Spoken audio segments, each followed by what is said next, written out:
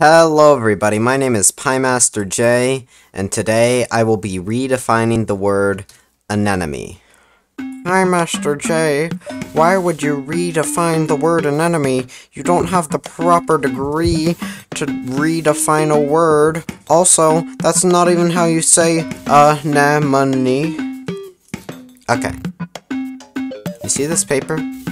This paper is your opinion. And in the void, you may find the person who asked. Anyways, now that that's taken care of, why am I redefining anemone, you may ask? Well, you see, it's because anemone is such a good word, okay? It's too good of a word to be wasted on some obscure sea creature that nobody talks about. You see, under my rule, anemone is used in three different definitions. Number one is a friendly anemone. That is you all. You all are my friendly anemones.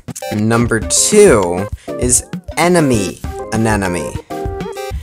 An enemy anemone is somebody that you're competing or fighting against. It's actually much closer to opponent than enemy. And there's a sign in my face. Definition number three is just anemone. Anemone is basically just a substitute for PvP. So instead of saying, I'm about to PvP this idiot, I'd say, I'm about to anemone this player. Anyways, my friendly anemones, that's all for this short video. I hope to see you in another video. So please make sure that you like and subscribe so that I can see you and you can see me. Anyways, that's all for this short video. I hope to see you friendly anemones in another video, so make sure that you see me, and please like and subscribe, so it lets the algorithm know that you will want my videos. So, uh, see you in the next video. Goodbye.